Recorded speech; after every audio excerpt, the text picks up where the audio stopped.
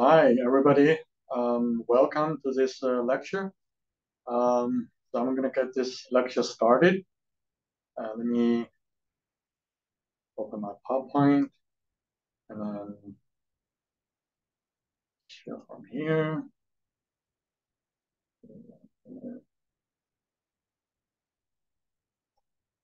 Okay. So let me um,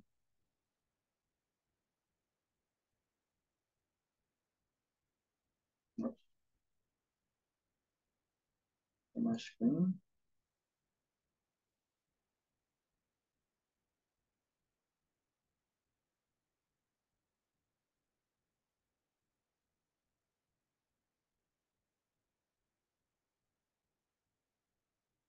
Uh, again, welcome. Uh, thank you for listening.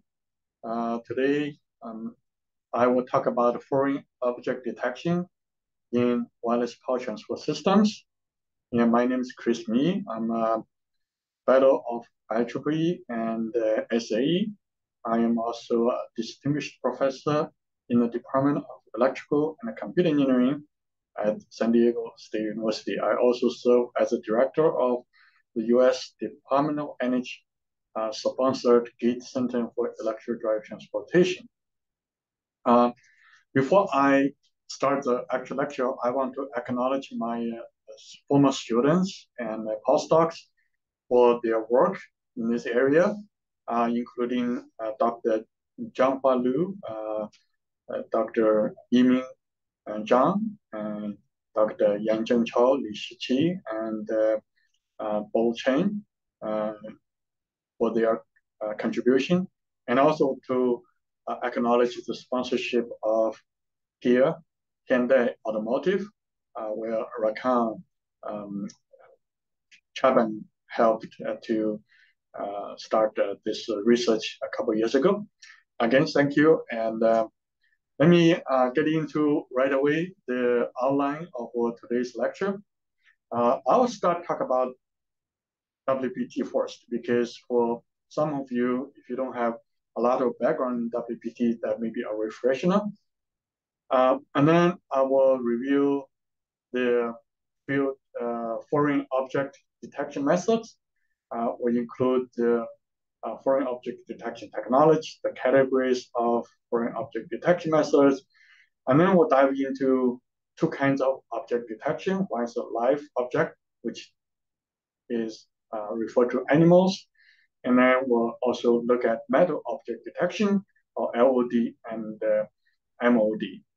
Um, and then from that point, we're going to look at some practical solutions, um, which include the detection coil design, the detection pickup, amplification circuit, um, within the circuit, how we do the resonance technology, the parameter, parameter matching, uh, detection, amplification design, circuit parameter tuning, uh, mitigation and protections, etc. And finally, we're going to look at also human safety, human safety in uh, wireless charging and future trends. And there will be some wrap up. Uh, since this is a recorded lecture, I don't anticipate any discussions to happen live. However, if you have any questions, please feel free to email me, and my information is included in the uh, very first slide and also the very last slide. Um, this talk will last about one hour. After that, um, you will see that I will include also additional study material in terms of foreign object detection in this area.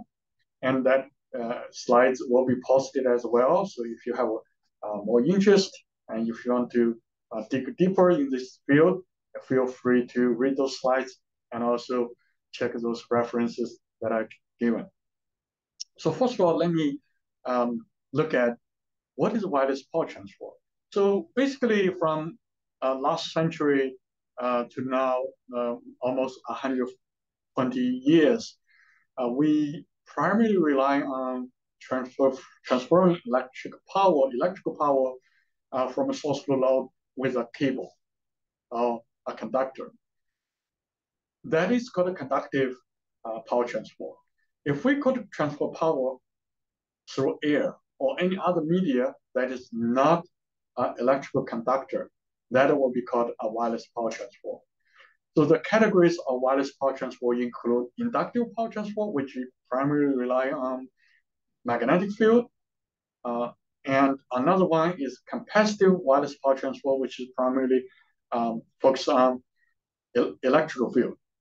Now, these are the two major categories of wireless power transfer for high power applications. In fact, if we look carefully, wireless power transfer not only are uh, coming for high power applications, but they are also for lower power applications.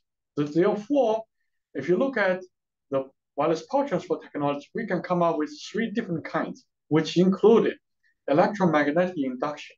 And this method itself has been used over probably 70, 80 years for many applications, for example, in mining and in welding and uh, other applications where the electricity is transferred as a magnetic field and the power or the energy is picked up by an application where most cases it's going to be a heat to um, do different kinds of heating. The second big category is radiation. That would include like radio waves, microwaves, laser, and ultrasound.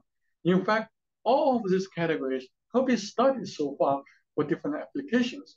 In particularly, if you look at the microwave, and we would think the microwave that we use to warm up food in our home and in our office. But that is only a fraction of microwave use. And that microwave transport electricity into heat. But there are helping a lot of applications this day to use microwave to transport electricity, which means not only the transfer is happening through microwave, but also the receiving end is electricity, not heat. And laser similarly has been used, and ultrasound also have been used for wireless power transfer.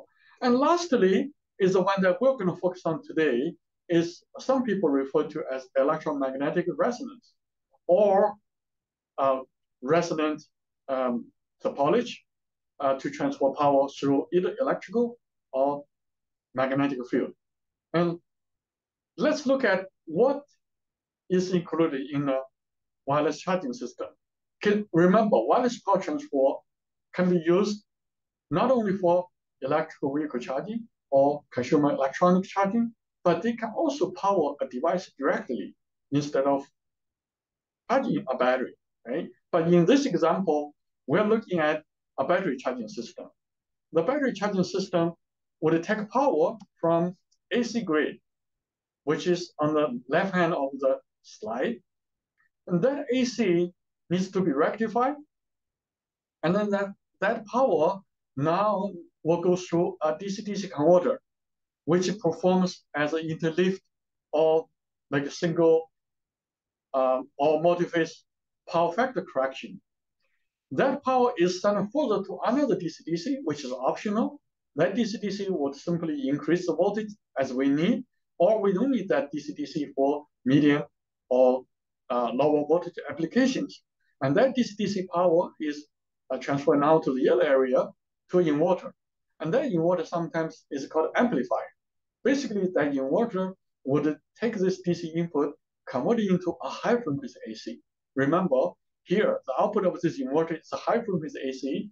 For EV charging, this frequency is 85 kilohertz. The input on the very left side of the, of the diagram is only either 50 hertz in Asia or 60 hertz in North America applications. So that frequency is not suitable for wireless power transfer. So having this 85 kilohertz AC output from this inverter to send power to the transmitter, which is, is a coil. And that coil generates a magnetic field, transfers through air to the pickup, which is on top of uh, the transmitter. The power picked up is a high frequency, high frequency AC, and that is sent over to a rectifier again, and the filtering, and the output power of this rectifier and filter is going to be used to charge the battery. So this is a whole system of uh, wireless power chain charging system. In this diagram, the DC-DC converter, the rectifier, the DC-AC inverter basically are very conventional uh, technology, which we, we can either design or buy them off the shelf. The DC-AC inverter, of course, output 85 kilohertz in this particular application. They can be different frequency at a lower, for example, for high power bus charging, truck charging at hundreds of kilowatts, or they can be higher power for lower power, uh, lower power applications such as 6.78 megahertz for consumer electronics charging. The, so in any case, these inverters and DC-DC converters can be conventional, like IGBT based, or they can be based on newer um, semiconductor devices, such as silicon nitride, silicon carbide, and gallium nitride um, devices. So they are basically are very conventional. The key is the design of the coil, uh, transmitter and receiver. And that couples with the DC to AC inverter makes up the whole system key technology.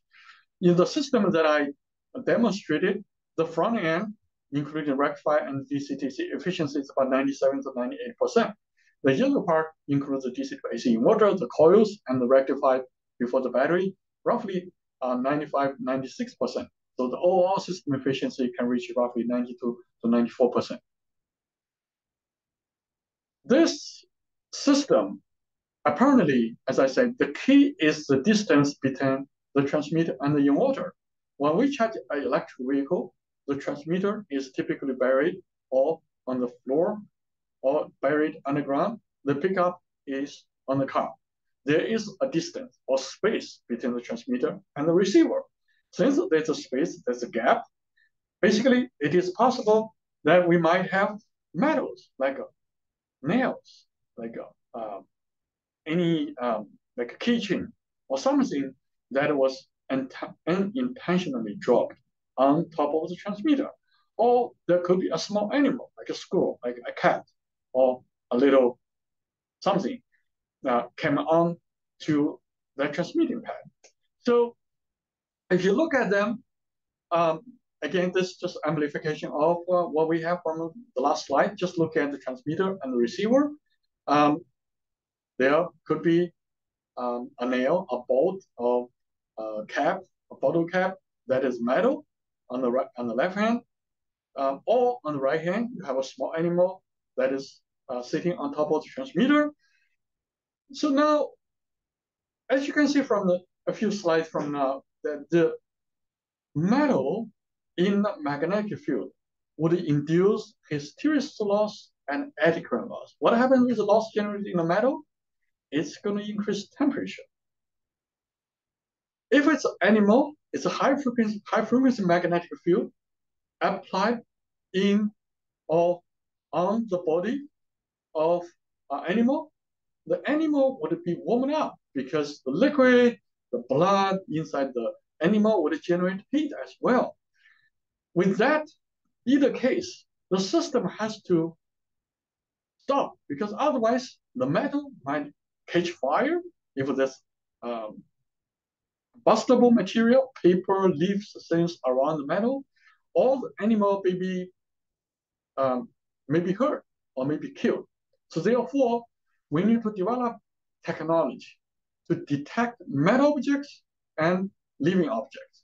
The metal objects, as I said, could include things like a key, a chip, a coin, a tin foil, a bottle cap, a pop can, things like that. And the living object could include like a small cat, small dog, um, guinea pig, um, a squirrel, or anything like that. So how dangerous, basically, before we um, develop this technology. Maybe they're okay, right? So we have to do the study. So in fact, uh, in my laboratory, actually in uh, many laboratories around the world, researchers have conducted um, for different objects. So in this example, we conducted three studies. So one is the blue uh, car next a person uh, lying down next to the car. You might be saying, oh, this person is looking for something. Uh, just be curious to look at if the how the chart works, right? Is looking is there anything, or is looking for a key that was dropped or maybe um, uh, ring that was uh, uh, accidentally dropped below the car he's looking at. The bottom has two graphs. The one was related to animal that was sitting on top of the transmitter, or there could be a few different metal objects. The system was tested under 6.6 kilowatts of charging power, and the coil was 500 square. Um, the worst case, as I said, the human was laying down next to the car, and the worst radiation is well below, uh, we found that is well below the uh, ICNIRP regulations. So what exactly what I mean? Well, look at what happens with the human. The guideline in the yellow square, you see that the field, um, E field requirement was 27 microtesla for general uh, public. Uh, if somebody has a pacemaker, the B field has to be less than 6.25 Tesla, and the E field has to be less than 83 volt per meter at 85 kilohertz. So we found these standards in some of the international standards. But, but in our simulation, we found all field is only 1.36 microtesla, which is uh, like uh, one magnitude smaller than the standard.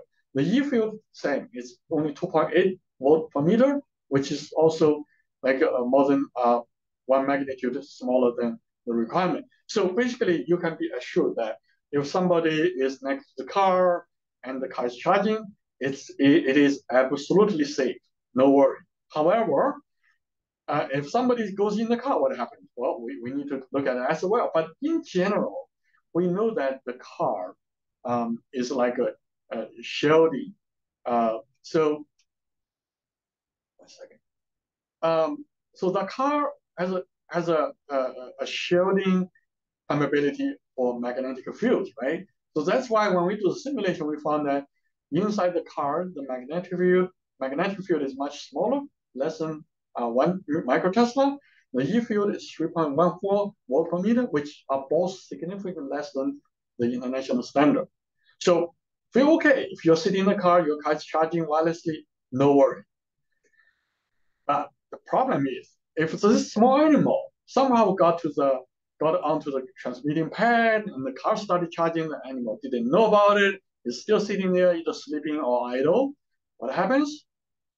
We know the animal is gonna get hot and he's gonna get hurt if if if it, he or she sits there for a long time. Uh, we found actually if the animal sits there for more than like half hour or 45 minutes, the cat will get to somewhere near 40, uh, more than 40 degrees C, which means the, the, the animal will be will be will be hurt. But the, uh, if the animal is awake, of course he or she might just jump away. But if it is sleeping, it may get hurt really well, really bad, or it could be killed. So we are, therefore that's that's why we need to detect the metal. How about um, I mean a, a live and living animal or live animal? So what happens with the metal? Well, we did this experiment instead of we did simulation as well by the way. Um, given the time frame, I'm not going to show those results, but we actually took the experiment, which is very uh, much more visualized. Uh, you can see from this diagram, all the metal pieces are pretty much burned after 30 minutes exposed to the magnetic field. The plastic, on the other hand, is fine. Um, but if the metal is on a piece of paper, or if the metal is on a piece of plastic, the plastic and the, the paper actually will be ignited and melt.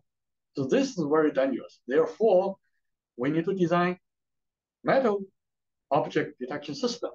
So that brings our main technical talk today. The categories of FOD will include two, right? Metal, the other is a living object. Uh, so if you look at this classification for um, metal detection, we can divide them into high power and low power. For live animal uh, detection, it's mostly for high power because if you have a say cell phone charger and the animal got on top of it, it's okay because one, it won't be activated, so it's not charging. Uh, no magnetic field, fine. Uh, even if you're charging, the power is so small, the magnetic field is so weak, the animal won't get really hurt. So no worry about low power, only high power. If we further look at um, like a um, object detection, uh, we can divide. So the previous one was really uh, based on uh, what is the uh, object. But now if we base the technology to classify FOD, uh, we can look at three big categories. The first category is system parameters. What I mean is that when you have a foreign object, the system efficiency, power loss, current, temperature, they're all going to change, especially for high power. So if the temperature change, if the efficiency change, power change, if we know they are different, so we might be able to guess that yes, there is animal or there's a metal, most likely metal. Okay, so that's why the system parameter based can be used for metal object detection and mostly for high power. Because for low power, the efficiency change may not be that apparent. Okay, so it's hard to detect. The second big category is wave-based. The wave-based detection, for example, image. If we take a, if we have a camera, we may be able, we should be able to detect this animal. Or the, even there's a large piece of metal, ultrasound, thermal, and radar. Those can be easily used to mostly to, to detect live object. Okay. And finally, is field-based. The field-based uh, means that we can design a circuit that can emit uh, either electrical or magnetic field. And based on the field intensity, we can measure the capacitance, inductance, or resistance change. Because if there's metal, the capacitance will change. The inductance will change, and resistance will change as well. Any of these three changes indicate there is a metal or there is a animal. So therefore, this is how we can classify this different foreign object detection method. If we compare these three different methods, uh, we can look at, for example, what is the principle? Well, the system parameter means just simply measures the system parameters of your system and look at how they change, whether it's efficiency, loss, uh, inductance, resistance. No external circuit is needed. The same system, the same coil, um, the same transmitting and receiving coil, you're just looking at the system parameter change. If there's a change, and you in comparison to the base model, you know there's a possibility of a foreign object. The wave-based is based on radar imaging, solar sensors, as we mentioned earlier. The field-based is basically designing an extra circuit to transfer uh, additional electrical and magnetic field, and then we measure the uh, changes of inductance, capacitance, resistance, and so on of the detection coil, and based on the change, we can detect whether there is a foreign object. The system parameter is mostly used for low power applications. The wave-based is mostly for high power applications. Again, they're mostly for um, animal detection. The field-based can be used for either low power or high power applications. They can be used for both uh, metal and living object detection. The cost for system parameter based is low because there's no extra component, no extra circuit, only algorithms built in the computers. The wave-based is high because cameras are high, sensors uh, cost are high, uh, camera cost are high, ultrasound system cost are very high. So they are very high. That's why they're only good for high power applications because low power applications is so cheap, you can hardly uh, build such a system to go with it. The field-based is medium. Because there's extra circuit needed, so there is some cost, but it's typically uh, cheaper than the wave-based. And the precision, of course, wise is that the system parameter-based is low because you're really looking at the system parameter chain. And then the system program parameter not changing with metal, but also with the battery status, with the alignment. So therefore, the, the uh, precision can be quite low. The wave-based is really good because image is clear, you can read it. Sensors give you the correct signal, but their, their cost is high. So that's the three different kind of methods. Now let's dive into living object detection. The living object detection, we can mostly uh, use two different methods, different kinds of methods, uh, two categories. Uh, either sensor-based or wave-based detection method or field-based detection method. And I'm going to show you a few examples. Uh, some of the study have been conducted by other researchers. I'm reference, reference, referencing them here. The sensor-based in, include, for example, infrared sensor, radar, ultrasound pressure sensor, thermal sensor, and light camera. All of them can be used to detect living objects. Field-based field-based detection basically looking at the capacitance change in a system because when there's animal, the media change, the capacitance change. So let's look at each of these, how they work.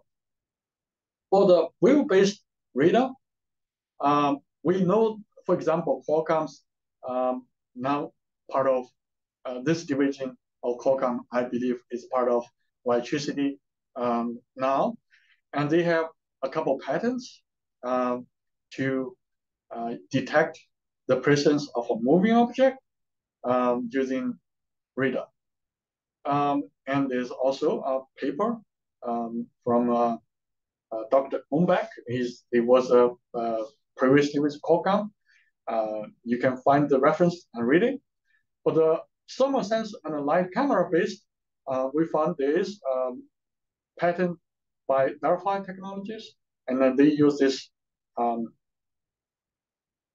sensor and light camera to detect uh, living object. Here shows the basic principle how the system works. Um, as you can see, if uh, so this picture shows the ground uh, at the bottom, uh, the charging pad on the ground or right you know, below the ground surface, uh, the receiver uh, on the vehicle uh, with a distance from the transmitter. And you can see that they put an antenna on the receiver. the, the, the receiver itself is possibly uh, movable if there is certain system on the vehicle you know, suspension or move with the vehicle, right? So if there's a foreign object, if there's a foreign object, the antenna sends a signal to the um, transmitter and receives an echo. If there's no object, then the echo comes back clean. If there's a foreign object, it comes back either with a short time or a different intensity. That means there's a foreign object. So this is very simple. Um, you basically have an antenna and then have this object, you know, the, the, the, if the object is not inside, which is fine. If it is uh, inside the on top of the transmitter, you will detect it. You'll be able to detect it. Yeah. And we can look, look at the wave-based as well. Um, like uh, the, the, radar are typically, uh, uh, for example, uh, used for re reverse parking uh, indicators. They could pick up any movement under the vehicle and automatically turn off the system, right? So if you have a radar that can detect uh, animal presence um, when the vehicles move to place, right? But this probably only work when the vehicle is moving, because when the vehicle is turned off, the camera is also not uh, uh, active, therefore you may not be able to do it. Um, so the camera uh, can be installed um, specifically for this purpose. So when you have a sensors, cameras installed, and then those take pictures, and you have algorithms inside a controller, and controllers look at the, the image and identify if there's any if, if there's object or not. So in this, this diagram, you can see that um, on the bottom you have a wrench, and then the camera detects the wrench, and uh, and uh, on the right hand you can see this animal uh, on the transmitter, and the camera will be able to uh, detect the animal presence in this case.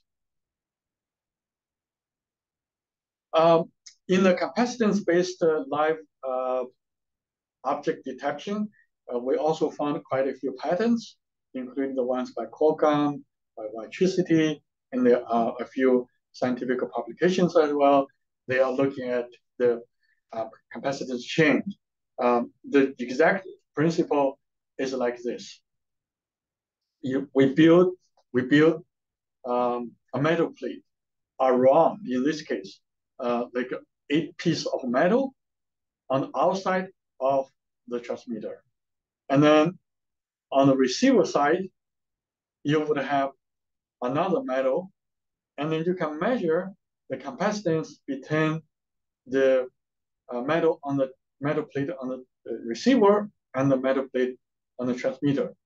And that capacitance have a certain value uh, with, within a certain like misalignment.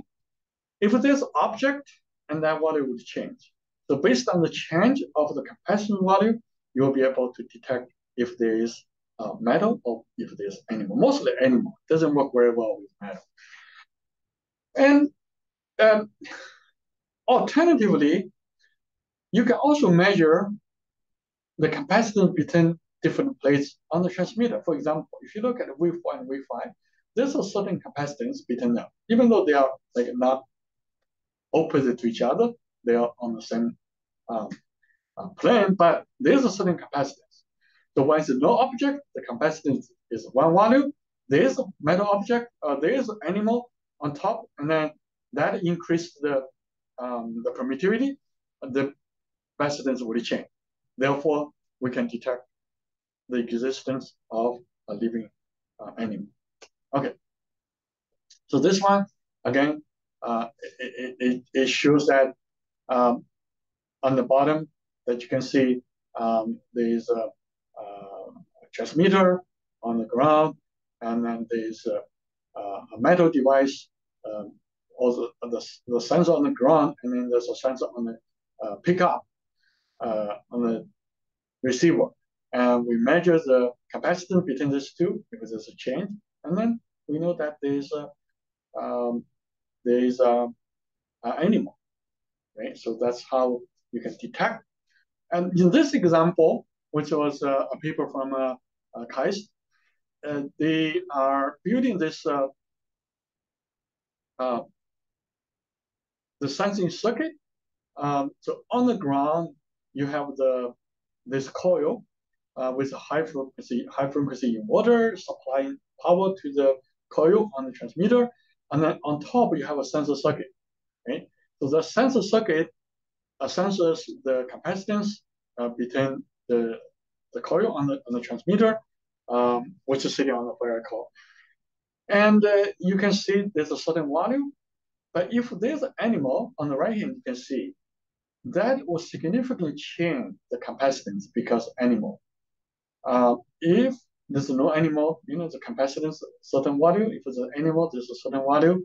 Therefore, based on the change of the capacitance value, we can detect the uh, the existence of an uh, animal. And uh, uh, this example uh, shows um, another method. This is um, just like a little antenna transmitter um, with input from, for example, we can apply high frequency AC uh, between A1 and B1 or between A2 and B2.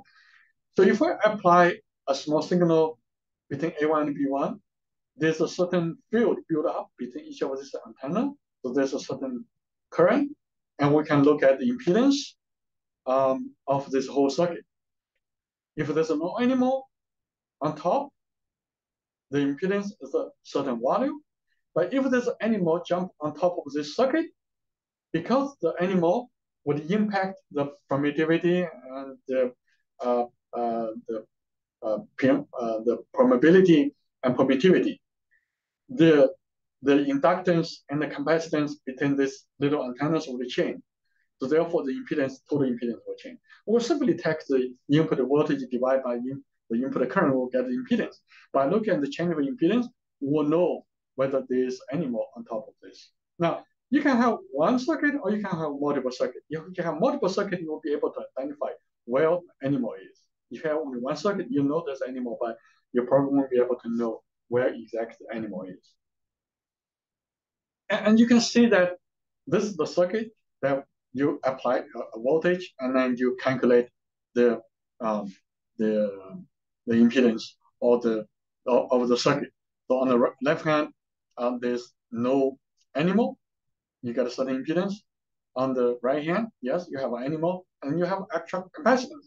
So the uh, the total impedance would have changed. Therefore, we'll be able to detect it. And we can uh, amplify this uh, uh by looking at like multiple uh, multiple circuits to identify precisely where the animal is. Uh, because you, as I said, if you have a whole piece of antenna on the whole overall top of the transmitter, you will not be able to identify where the animal is. But with uh, multiple circuits, uh, each circuit cover each area, and we'll be able to identify where. Now, we can have one single power supply to detect, and then we can have, have a multiplex system to switch each circuit on, uh, alternate, alternatively one by one. So therefore, we will be able to detect where. So each circuit impedance is uh, is the same, right? So, but once we detect the change, we'll be able to detect uh, which circuit has changed, and then we know the animal is on top of that circuit. So live animal detection is typically easier to do because animals tend to be big. Um, I would say you probably won't be able to detect, let's say, um, ant, right? We don't care. Or this is spider, we don't care. Uh, but if there's even a guinea pig, that's not really small. Uh, a small dog, a small cat. So it's it's relatively easy to detect whether you use camera, ultrasound, or you use this sensing circuit built with uh, antennas, uh, like a multiple um, printed both circuit. The, like this circuit itself can be printed on a circuit um, on a PCB, right? And then we can use this to detect the existence of an animal. There, um, um, this is a quite a new field and uh, only started maybe just uh, about seven, eight years ago. Um, but we do have a lot of references. Um, this reference uh, was up to 2020, so there were probably many new references already available, and which is not included in this presentation. Uh, but uh, if you search the um, libraries, uh, you should be able to find a lot of these references and how they each of them design their system and how effective each system is working. So that's the uh, living object detection. Now let's uh, move on to uh, metal object detection. So for metal object detection, we can have three different methods as well. We can have a sensor-based. Basically, we can using temperature sensor, thermal camera, uh, thermistor, for example, to measure because we know that when there's metal, the temperature will increase, right? Uh, pressure sensor, for example, if there's a metal, um, it might increase the pressure, but that doesn't seem to be likely if there's very small metal, and, and of course, cost could be an issue. We can use radar and the camera, um, but again, some of these are cheaper than others, so it may not be applicable to all applications. And the second category is to use a parameter-based detection method, we can look at the self-inductance, quality factor, current, power loss, efficiency, and so on. And we can look at the impedance, the phase angle, the input power. So those are basically using the parameter of the transmitter and the receiver uh, themselves. So therefore, there's no additional cost involved in developing such a system. But the accuracy, as I mentioned earlier, could be questionable. And lastly, we can use a sensor pattern-based uh, which is very similar to the ones that I showed for the last uh, uh, animal detection method. And we can look at the impedance chain. in this case, we'll design a detection coil, and we look at the voltage and the current of the detection coil. We calculate impedance. When the impedance change, we know that there is uh, a metal. So the same circuit, in fact, can be used to detect animal and metal. So that's the advantage. But uh, the cost is less than camera and sensors, but it's still not cheap. And in our last study, we found that this system can be like as expensive as the transmitter itself, which means it's just very expensive. Okay, so um, how much temperature rise? Well, we did an experiment and we use different metals, including keys, coins, screws, nails, sprinkler, washer, um, nuts, bolts, bottle cap, aluminum foil. And we know that the heat is generated both from eddy current and hysteresis. And uh, we know that extreme heat can cause fire, uh, but we don't know like whether it's going to ignite uh, like a gas, leaves, paper, plastic, wood chips, and so on, right? So unless we know how much temperature this is going to be.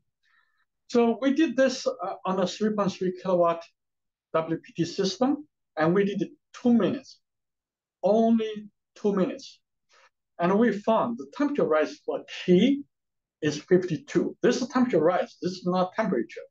Now think about it. If the outside temperature in a very hot, like Arizona or like a Canton, uh, Shenzhen, for example, Hong Kong, this could be 50 to 60 degrees C outside on the ground. The temperature rise is 52, so this can be easily more than 100 degrees C. That's this is only two minutes. If this lasts more time, it can easily go to ignite paper or wood clips. For once in the coil uh, coin, it's 46 degree. For US quarter, it's bigger, so that's why 61 degree. For screw, 102, nail 89, uh, spring washer 95. So this is temperature rise. As you can see, only two minutes, right? So we know that it is dangerous. So I don't have to emphasize how important this is going to be. In my other presentation, I talk about dynamic charging like for buses. If the bus is only there for 30 seconds, I think this is okay because this two minutes, it didn't ignite, right? 100 degrees only ignite um, uh, wood chip or leaves paper. Uh, it needed longer time. So if the dynamic charging only happens every 30 seconds, which should be fine, right? So uh, the advantages of sensor-based FOD, let's talk about. It's not limited by the, uh, the, the power level and operating frequency, so it can be used for any uh, system. Uh, it, it operates independent of misalignment. Because if we use this uh, parameter-based, the big problem is that it, it's also highly related to misalignment. Sometimes it's hard to distinguish between a foreign object and misalignment. So uh, the, the, the sensor base is very good. They don't they don't care about misalignment. They have nothing to do with misalignment. It can detect any metal objects, whether small or big. Uh, of course, it's too small. We're not we, we are not able to detect, but the too small object won't won't generate enough um, heat either. So we're not worried about the safety. Um, they are highly sensitive to small metal objects. They are uh, non-conducting materials like wood, glass, plastic. It may, it, it wouldn't, we, we're not able to detect this, but they might also impact the detection accuracy, so we have to be careful about that.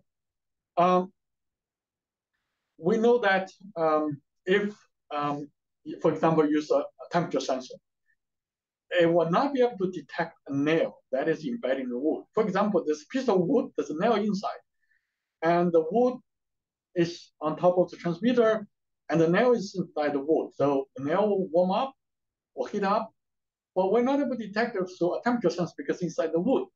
But because the nail is in the wood, the temperature rise is going to more likely to catch fire and to cause um, catastrophic event. Okay? Um, and if there's glass debris, it, it, it, can possibly trigger a pressure or sensor or radar sensor. And uh, uh, but but the, the sensor-based method uh, it, it's highly uh, it's a high cost and difficult to install. Uh, and also it's constrained by available space, right? So that's a sensor-based uh, systems. Okay. So um, this shows the experiment of um, uh, metal objects. Uh, the magnetic flux, uh, this is only 15 watts uh, system based on the Qi It's not even charging, EV uh, charging. And, and you can see that the metal dramatically distorts the flux. So, uh, which means it is possible that we can look at the power or the efficiency of the system uh, to check whether there's a metal. Um, on this, this is a paper from, uh, uh, uh, uh I forgot to put the, uh, the source of the paper here, but the um, this reference I'll list later on in my presentation so you can look for it. So the left hand is a diagram of an equivalent circuit of the wireless power transfer system without metal.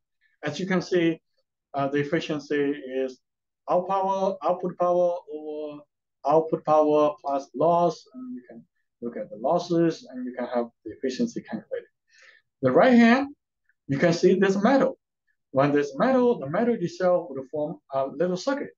Um, and then it will be has its own inductance, its own resistance, eddy current, and there will be also induced mutual inductance between the transmitter coil and the receiving coil, and the whole thing is going to change. And then once we calculate the efficiency, you can see this additional loss uh, inside the metal. So the total efficiency has changed.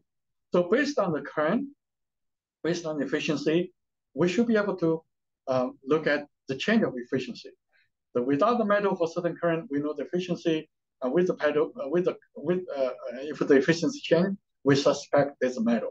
But this uh, problem uh, that I can see is if the circuit is misaligned, so the current may be different, and the efficiency actually may be impacted. Right. So that's the downside of this system parameter-based metal detection method.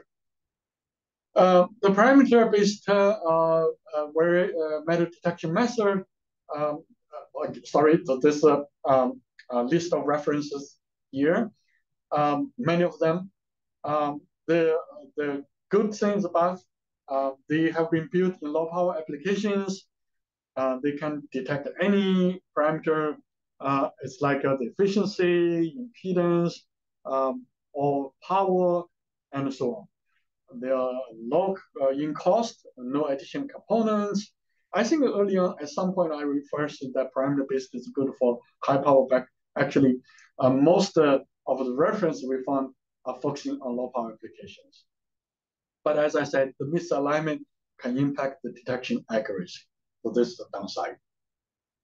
Um, in this example, again, the 15 watt WPT system, um, they did this experiment using one cent uh, coin, and uh, they found that, for example, on the right hand, the um, the change of uh, um, the uh, inductance uh, with the coin position on axis, you can see that it changed anywhere from minus 25%, uh, almost 25% to zero uh, if the coin is really outside of the charging pad.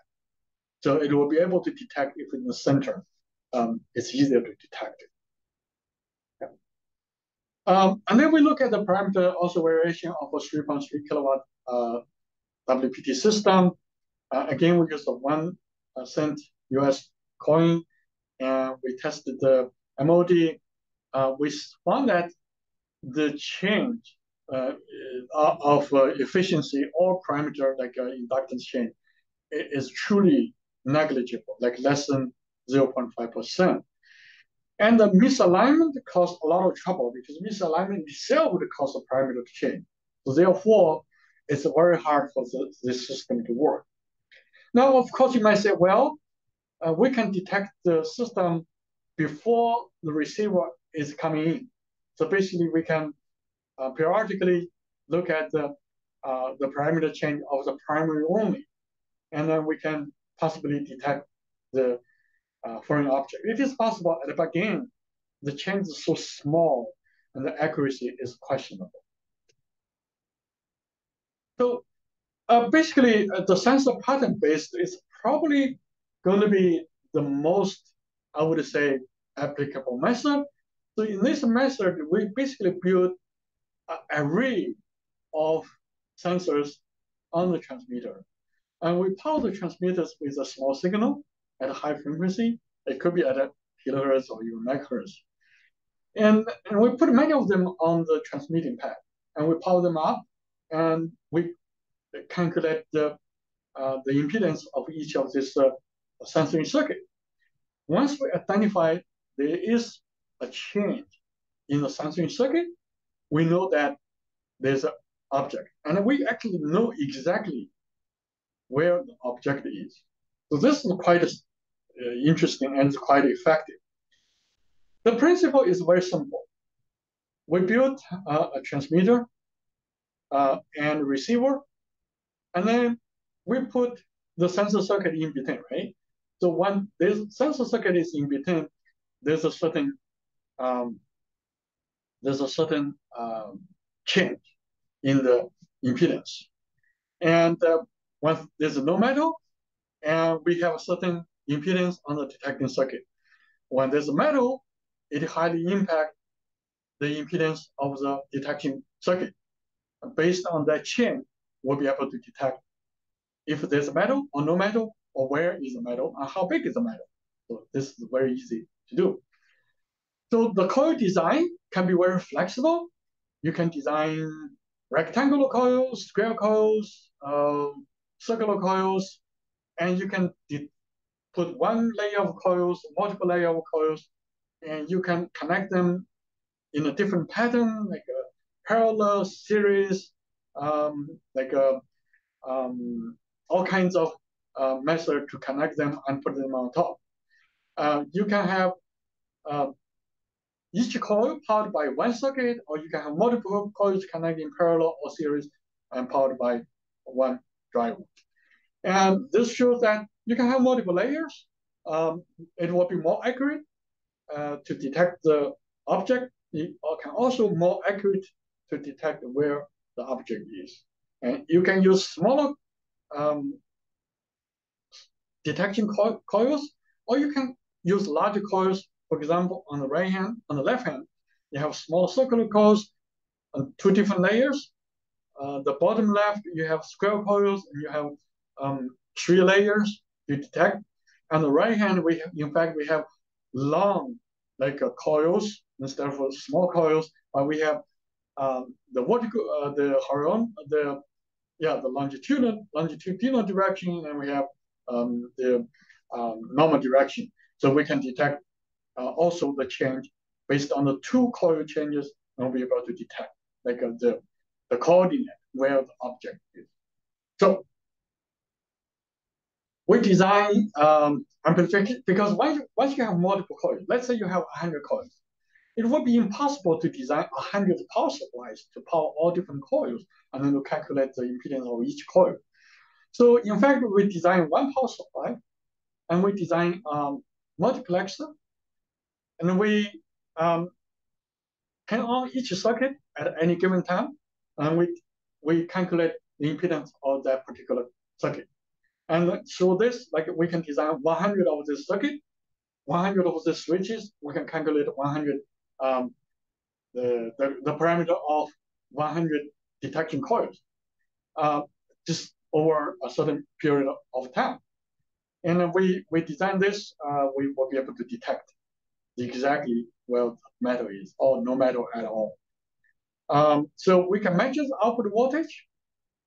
When you, for example, in the on the circuit, uh, the, the circuit on the left hand, uh, if we turn, for example, switch number one on the very top arm, uh, the power is coming in through RS. It goes to CS1, RDN, R, uh, LDN, and goes through the switch and it goes to the amplifier. And the bottom you have CP to form a resonance circuit to increase the measurement accuracy. And the signal processing circuit calculates the impedance um, oh, the signal processor, the signal processing circuit, filtering um, the signal and then doing the isolation, amplifying and then converting them, and then going to the MCU, convert them into digital signal, and we can look at the um, impedance and we compare to the nominal value. If the change is small, we think there's no metal. If the change is big, we think there's, there is a metal. And then once we're done with the circuit number one on top, we can do circuit number two, from the top and circuit three from the top, and we can do uh, like a hundred circuit. And each of them will take a few milliseconds. So in total, it might take um, a few hundred milliseconds to do the overall like a measurement, and uh, we can detect the uh, the metal.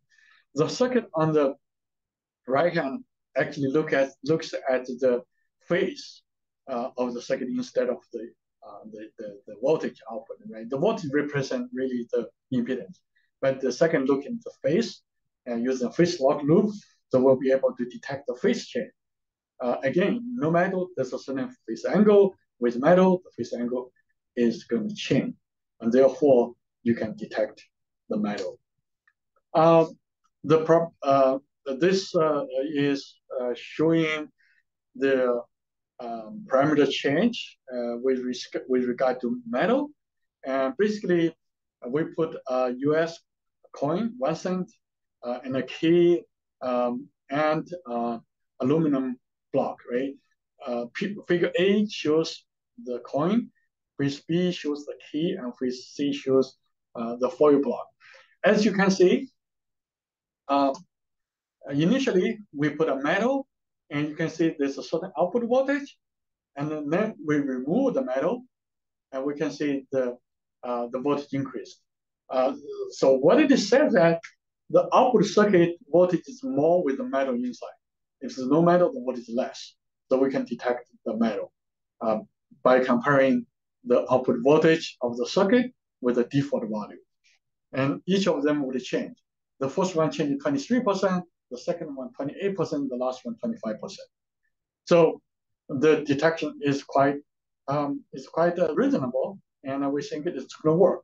The table at the bottom uh, left shows the parameter of the um, WPT system and the detection system.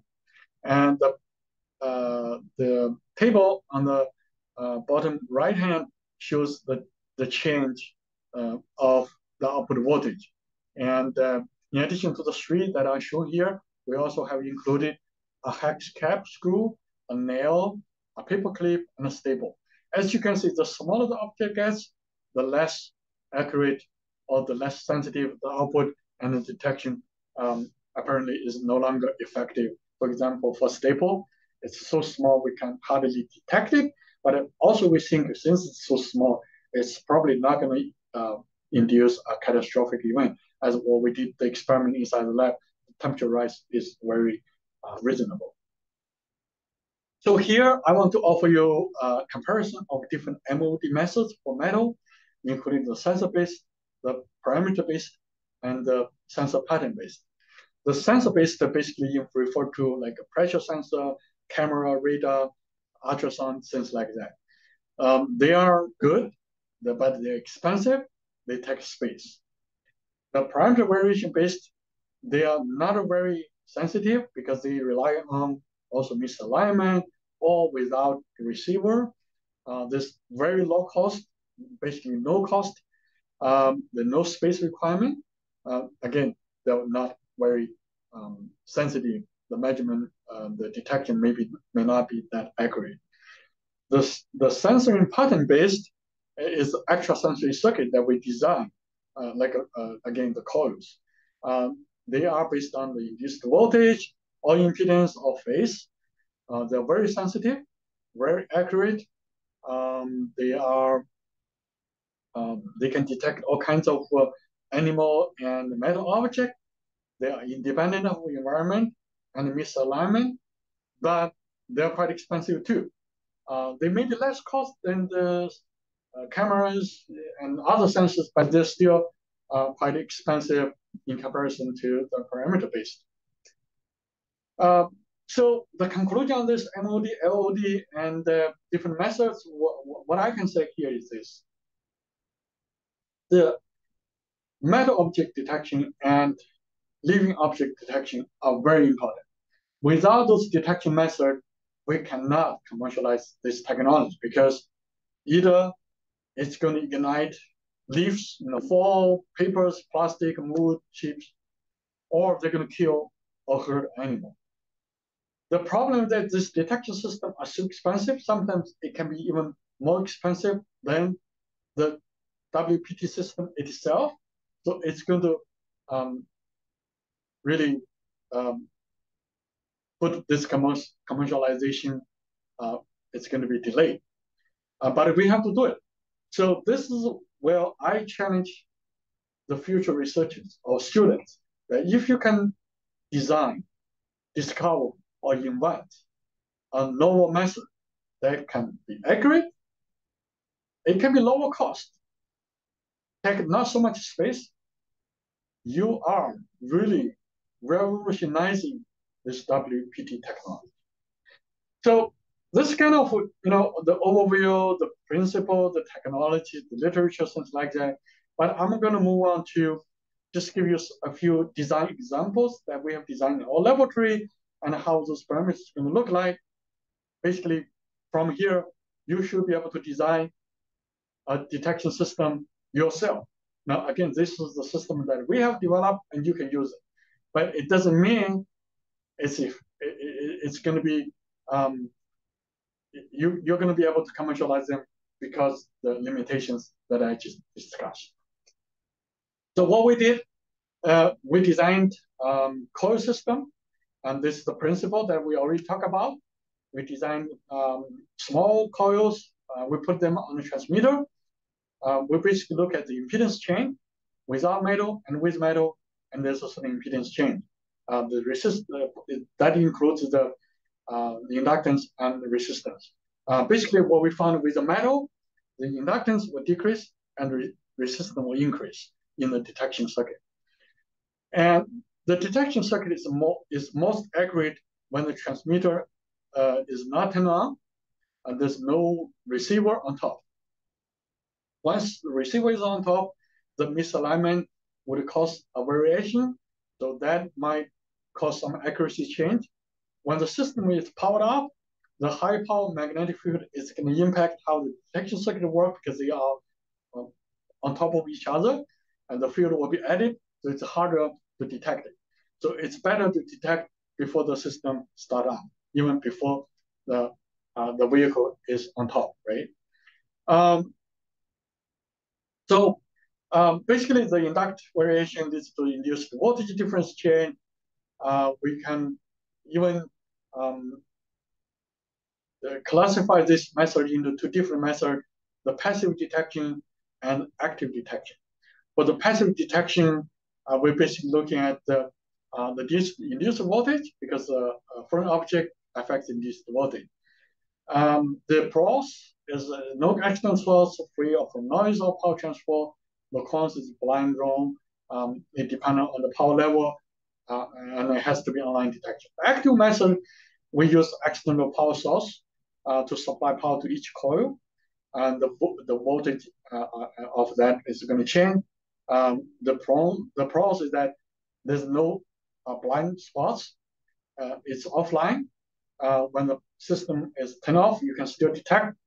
Uh, the disadvantage that we need external source, and we have to be careful about the noise from power transfer, and uh, it's how we decouple um, the main power transfer magnetic field from the detecting coil magnetic field.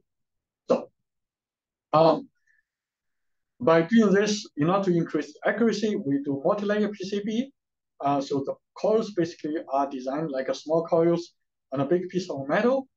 Um, but doing too many uh, can be difficult because, again, the uh, multiplex a multiplex system could be very complicated. The calculation can take or detection can take a long time. The coil itself can, of, of course, be square or triangle, and circular, or any kind of shape that you can design.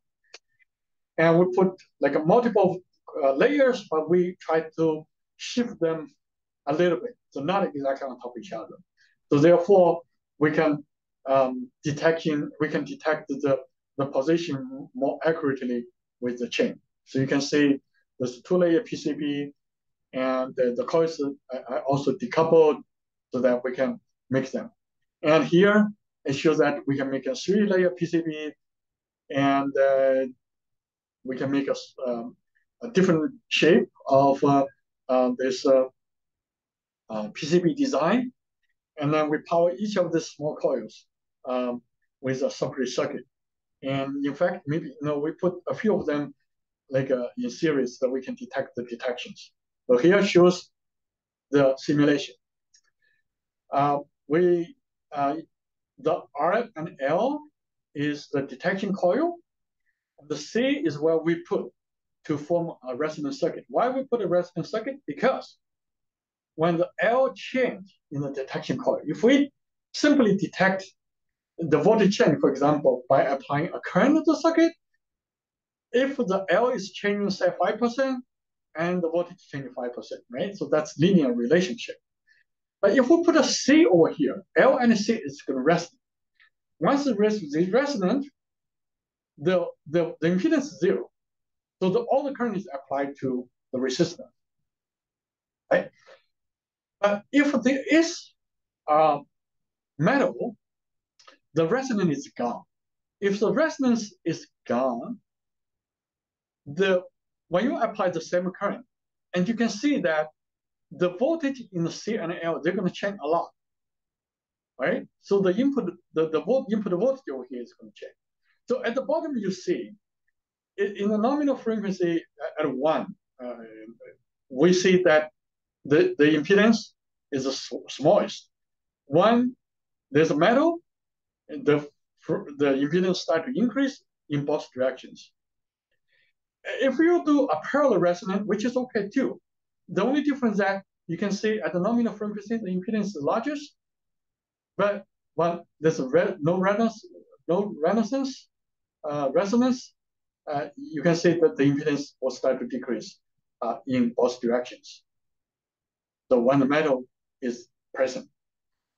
And we again assume like how much change that we can tell this, this metal. So over here, we assume that L decreased by 1%, R, R increased by 5, 5% with a foreign object. So you can see that at the nominal uh, uh, frequency, and, uh, and then when the frequency changes, and how this um, impedance change.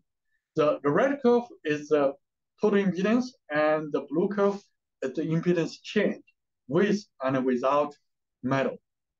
So both of them in parallel and series. And you can see the impedance change is quite dramatic, right? So it's almost like five ohms um, in uh, both directions when the frequency changes. So therefore, we can detect it um, based on the um, metal. And, and of course, we can choose the frequency because uh, as you can see here, its frequency is at the resonant frequency, the change could be zero actually. But when the frequency is a little bit away from the resonant, and we can see the change in the in the um, in the uh, series res resonance, you can see the change is almost uh, constant at the five um, ohms. And uh, here it shows um, uh, a much larger frequency room, and you know we we, we, we can uh, we can also even do uh, uh, the mixed compensation. The top is the the the, uh, the, the parallel capacitance. The bottom we do a parallel and a series capacitance, and we can see that we can have a much larger um, uh, room of change, and we can have stronger uh, sensitivity for the detection. So series parallel again, they have advantage and disadvantage um, based on whether you inject a current or inject a voltage source. Um, so I think all conclusion is that the mixed uh, hybrid compensation, um, which include a series capacitor and a parallel capacitor, is the best and it's more accurate. Uh, here shows our actual coil design. Uh, the coil outside 60 millimeter, inner length 20 millimeter. Um, the total number is 11, 6, and 21 for each layer. The trace width is 0.5 millimeters and 0.3 millimeters each. And we put six different coils um, on top of each other. Um, and uh, we can see that the six coil design, the trace width and coil number is shown in this table. And then uh, we basically measure, um, uh, uh, uh, measure the, uh, the sensitivity of the coil design. And we put the, in two positions, as you can see one position um, next to the edge, the other position is in the middle, and we put two different objects. Uh, one object is aluminum plate, it's about two millimeter thick, 30 millimeters in square. Uh, the US coin is one cent, basically diameter of 80 millimeters and thickness of 1.5 millimeters. And we put them 10 millimeters above the detection coil the reason we put 10 millimeter because we know in most applications the coil, the the, the, the transmitting coil is not going to be exactly at the surface. There's going to be uh, packaging material and uh, and a paving maybe even on top. So therefore, we put 10 millimeters um, above the coil, the transmitting coil. And here shows the uh, the impedance change, the Q factor change for uh, the two different objects at two different positions. Because we have two objects, two different positions, we have uh, six coils. Therefore, we measure the change. Uh, the, the first two columns indicate the no, uh, no object. Uh, the third column shows uh, FO1 at uh, position 1. As you can see, the change is anywhere, anywhere from 10%, 9.9% to 11%. Uh, the, the second position shows 5% because second position is more close to the edge. Uh, object 2 is smaller because the object is smaller too, uh, around 2%. Object 2 at position 2 is 0 0.2 to 0.3%, 0.1% at, uh, for coil 5. But since we have six uh, coils, uh, uh, coils that we should be able to, to summarize them and detect the actual change. Um, basically uh, we apply uh, this voltage source uh, to the hybrid resonance circuit. we use a voltage follower and we use a high high pass filter to filter the noise, and we amplify the circuit and rectify them. We put them on an MCU MCU ADC, cha ADC channel. then we detected the voltage and the bottom circuit shows the equivalent circuit. And we found that with the impedance change, uh, we're able to uh, look at, for example, in this case, uh, the impedance change roughly um, minus 19% to about 30%. Okay, and here it shows the voltage uh, variation of the detection uh, with different frequency, and we can see the uh, the US uh, coin um, operating at uh, circuit operating at one megahertz. The measurement results shows uh, the the alpha, which the equation from the previous slide, at 1, 0 0.79, and 0.21. As you can see, the change with alpha at 0.21 is dramatic, almost 40% at the uh, frequency uh, slightly less than 1 megahertz. Uh, but uh, at frequency about 1 megahertz, and you can see the, the black curve and the blue curve, uh, they are both above uh, the uh, zero percent, like nearly ten percent. If it's below one megahertz, is negative. So basically, by varying the frequency uh, around one megahertz, we're able to detect the foreign object. The different layer, uh, because the distance, because the different layer, again, different even though the difference is small, but it actually um, changes the detection accuracy. Uh, the, the bottom layer is the worst, the top layer is the best because the top layer is closest to the foreign object. Uh, the width, the trace, the trace width really uh, changing the resistance and inductance. So the wider you can see the trace width, the more accurate or the more sensitive the detection can be. Uh, here compare comparing uh, 0.3 and 0.5 millimeter uh, trace width of the PCB circuit. As you can see, the 0.5 millimeter has much more sensitivity than the 0.3 millimeter trace width. Um, in addition to that one um, that, that I showed, we also proposed another circuit. This one, instead of using the, um, the little like a, uh, rectangular coils, we use a much longer uh, trace and the reason that we try to see whether we can um, detect uh, more accurately the position by using the coordinates, uh, vertical and um, horizontal like uh, uh pieces. Uh, and then also we're looking at the, the um, we can use less um, circuit uh, inside this so that we can save the components cost on the detection. And the design that we, we have shown that uh, the with the uh, circuit, we can see that uh, the variation of impedance of one megahertz around one megahertz, as you can see, there's a huge variation uh, of impedance change uh, in terms of kilo ohm uh, for the proposed circuit. the 2% variation of impedance resulted in 25% impedance um, of the output. So the resonant circuit is quite important to detect the variation. Here shows uh, the amplification circuit we designed. As you can see at the bottom, the input voltage at 1 megahertz. So it's internal impedance, match impedance, uh, internal impedance, and it goes through this uh, switching circuit. And each switching circuit is supplying power to each detection coil, L1, L2, and Ln. And this parallel uh, resonant circuit CP. And again, you can also design uh, series and parallel resonant circuit as well. So the, output uh, U detection goes to uh, voltage follower to increase impedance, and then goes to this filtering circuit, another amplifier, and then again another amplifier, and then we go to uh, rectify this voltage, and it goes to the MCU. This is the circuit that we design, and we make a PCB of this detection coil as well. As you can see on the um, picture here, uh, the detection coil uh, is basically uh, put on top of the transmitter, and the receiver is on top. And at the bottom, you can see this processing unit, which is a circuit that you saw, which is this one that we designed. And we put this um, in the MCU as well. And as you can see that we use an oscilloscope to observe the change.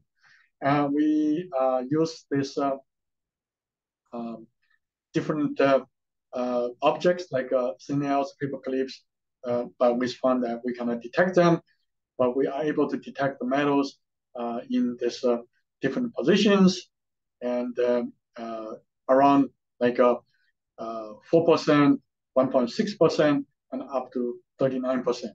in some positions, well, we're not able to detect the change. but since we have multiple coils, therefore we should be able to detect them um, based on the position.